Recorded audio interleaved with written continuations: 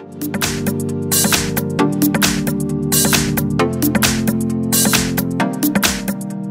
I have Huawei P9 Lite 2017 and let me show you how to reset network settings on the following device. At the very beginning let's start by using the home screen, let's use the apps icon, then here find and select settings. Right now you need to scroll down and choose here system. Here let's choose reset and from the following options choose network settings reset.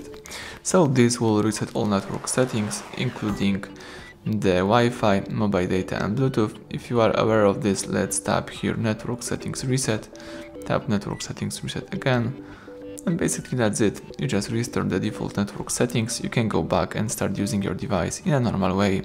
Thank you for watching, please subscribe our channel, leave thumbs up under the video.